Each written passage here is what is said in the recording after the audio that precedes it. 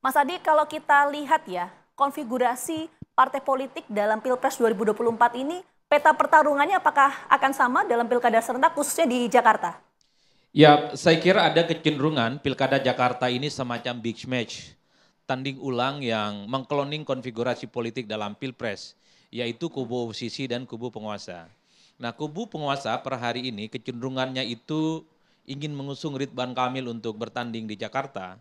Gerindra misalnya sudah definitif mengumumkan tertarik untuk mengusung Ridwan Kamil, disusul oleh PAN, bahkan Projo di situ, yang saya kira sebagai instrumen-instrumen yang bisa diukur betapa memang kawan-kawan yang tergabung dalam KIM itu intensinya untuk memajukan Ridwan Kamil. Dan pada saat yang bersamaan misalnya ada Anies Baswedan yang kita sebut sebagai antitesa dari kekuasaan politik hari ini hmm. yang sudah secara definitif diusung oleh PKB, kemungkinan besar akan segera bergabung PDIP dan PKS dan sangat mungkin juga Nasdem ada di dalamnya. Ini kan yang tampak di permukaan. Okay. Tapi sayangnya Vita, saya mencatat sejumlah anomali dalam Pilkada Jakarta. Kenapa anomali?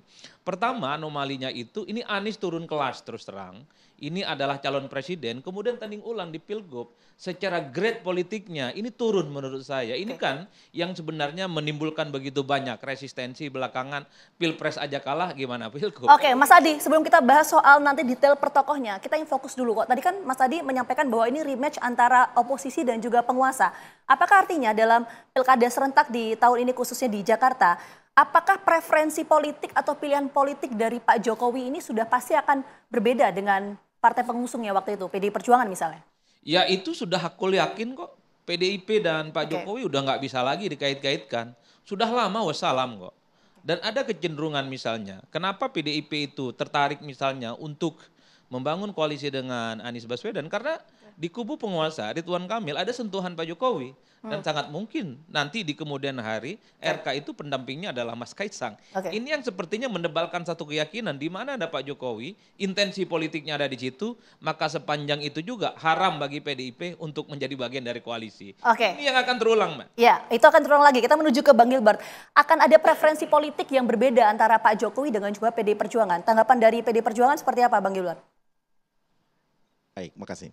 Saya kira bukan sesuatu yang aneh kalau hal itu terjadi ya dan bukan berasal dari PDI Perjuangan bahwa kemudian berbeda sepanjang kemudian rakyat yang diuntungkan tentu tidak ada masalah asal jangan kemudian merubah peraturan demi kepentingan pribadi.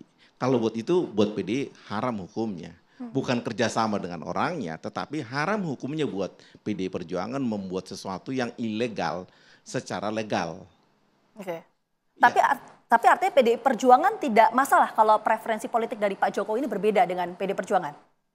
Tidak masalah soal itu? kita tidak masalah sepanjang kepentingan rakyat yang utamakan. Dan okay. itu memang dari dulu sikap PDI. Jangankan sekarang, Orde Baru saja kita puluhan tahun ada di luar kok. Okay. Dan bukan ha barang haram kita anggap itu. Demokrasi itu kan masalah perbedaan. Hmm. Bahwa kemudian kita berbeda ya wajar-wajar saja. Bahwa kemudian siapa yang kemudian dipilih rakyat itu yang menjadi penting. Oke, baik. Kita menuju ke Bang Habib.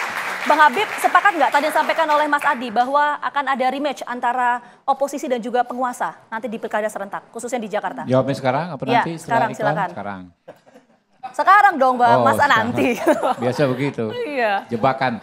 Ya, jadi begini, saya, saya pikir ini masih ada waktu dua bulan, situasinya masih dinamis. Ya, hmm. belum ada yang bisa memastikan uh, konfigurasinya siapa melawan siapa, karena masing-masing kedua sisi, misalnya tadi kata, dikatakan didefinisikan oposisi, didefinisikan penguasa, di tempat masing-masing juga belum jelas calonnya. Apakah misalnya uh, Anies pasti didukung oleh ya, partai-partai yang disebut oposisi, definisi oposisi juga sekarang kan masih masih sumir partai-partai mana saja yang beroposisi gitu kan.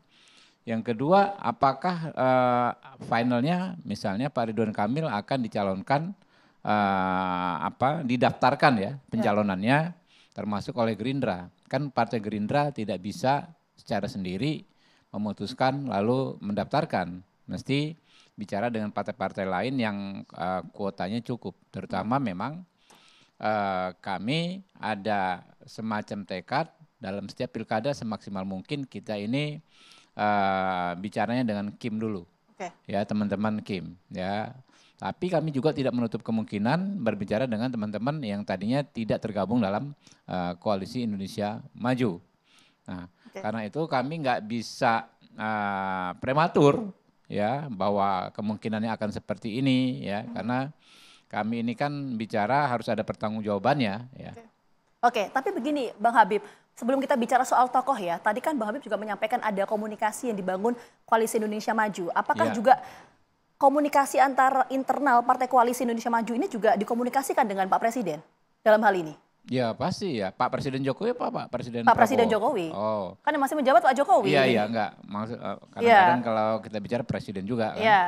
Jadi presiden iya, terpilih. gimana Bang ya. Habib? Ada komunikasi ya, juga dengan dong. Pak Jokowi? Pasti dong, dengan kedua ah. tokoh tersebut, saya pikir dua tokoh utama kami ya, Pak Jokowi dan Pak Prabowo ya, ya semua pasti kita saling diskusi lah. Oke, jadi artinya nanti siapa pun tokoh yang akan diusung oleh Partai Koalisi Indonesia Maju itu atas persetujuan dari Pak Jokowi? Kita tidak bisa disimpulkan gitu nggak? Enggak, enggak, bisa Anda simplifikasi seperti itu. Oke, jadi gimana? Kami mengutamakan musyawarah, Oke. ya kan? Jadi semua ah, yang akan kami sepakati tentu berdasarkan musyawarah. Oke, berdasarkan musyawarah ya. Oke.